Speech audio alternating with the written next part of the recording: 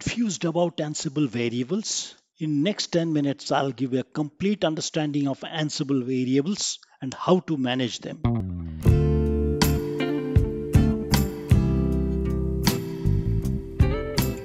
Hey, Chanchal Bose here with another dose of Ansible.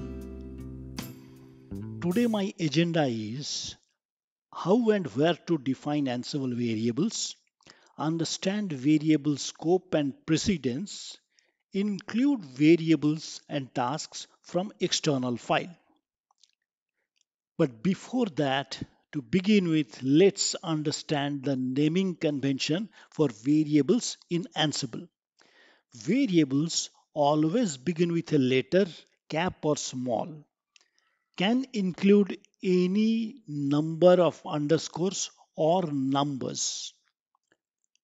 Examples are here on the right, but should not start with a number or underscore and should not be a special character. For example, hash, at the rate, exclamation, all this should not be eh, included. Examples of invalid variables are also on the screen.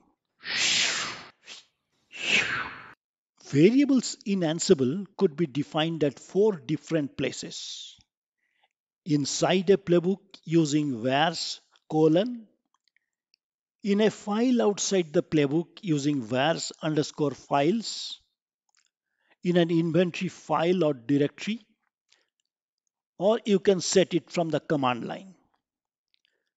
Now variable precedence order depends on where they are defined.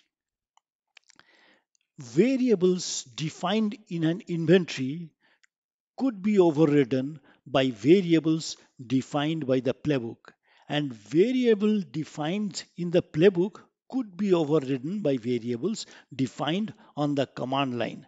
So the order of precedence is command line, playbook and inventory. First, let us understand the command line option. Variables can be passed in via command line when calling Ansible playbook with the minus minus extra vars option. Here is an example. User is defined to be Alice in playbook. However, we override the user as John using the minus minus extra dash variable in command line option. Now let's run the console application. Example.yaml file is here where user is defined to be Alice. Now in our command line option, we'll override the user by passing on the minus minus extra vars equals to user John. Now if you run this playbook, user John will be created though in the playbook user is defined to be Alice. This is because command line options always takes precedence over playbook. Commonly, variables are declared in a playbook. For example, here vars colon, then foo colon bar. Variables can also be defined in a list style. Here, users is the variable and the lists are John, Rahul and Rahim. But variables could also be defined outside the playbook in a file. For example, the files are packages.yaml and userlist.yaml. Details of packages.yaml and userlist.yaml is here. To drive home how variables are defined and used in playbook, let's take following example ftp server.yaml. Playbook creates an user Alice in node 2 and installs FTP server in node 1. Starts FTP server, uses vars, vars underscore files, include vars and ansible underscore hostname vars. Let's take a look how this entire exercise works in the command line or the actual console. Here is the playbook in the console and now I'll run this playbook with the ansible-playbook command line option.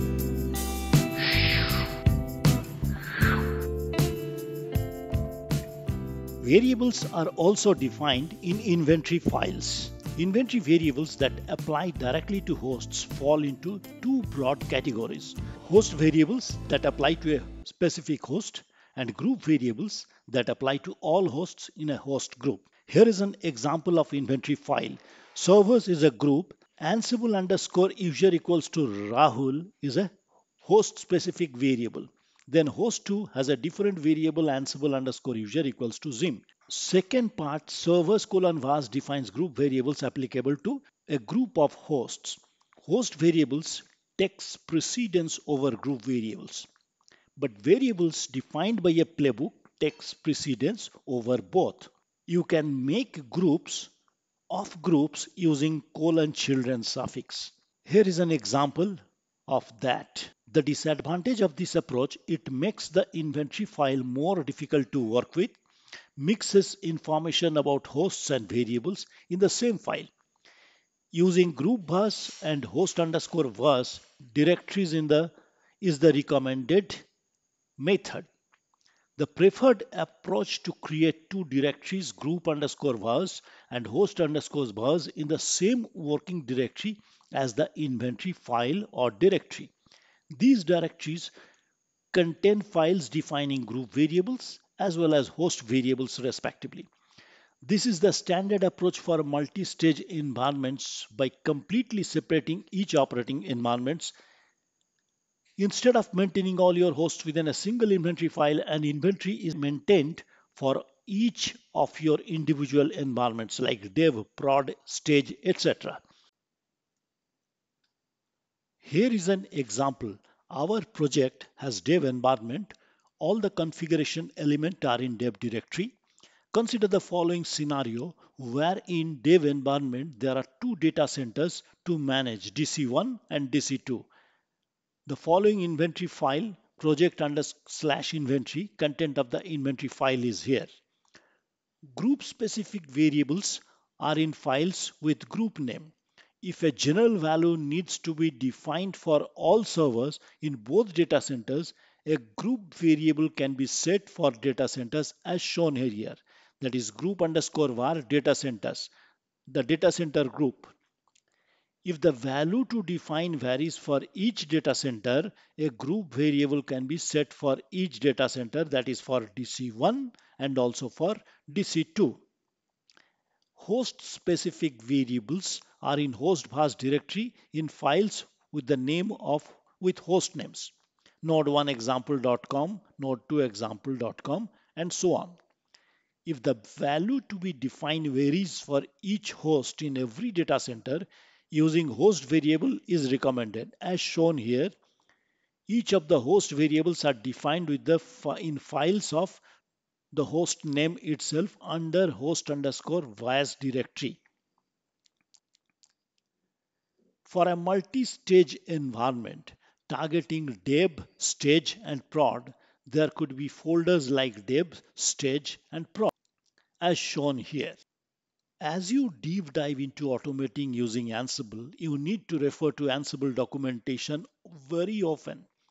I have given the link to this variables page documentation below this page and all relevant documentation pages are tasks in Ansible could also be included in playbook using modules include include underscore tasks. There is an include underscore vars that is for including variables from tasks. For using each of these modules, you can refer to ansible-doc s include or ansible-doc include underscore tasks.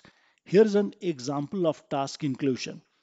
Playbook include underscore task.yaml installs Apache and configures a custom index.html using include and include task. We perform these tasks on a console window here.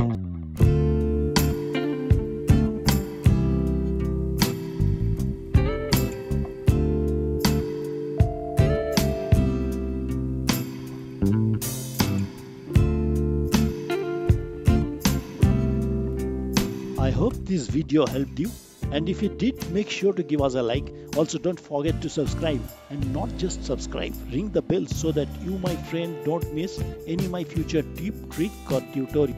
Thank you for watching. I'll see you guys next. Until then, stay tuned and make sure you keep automating.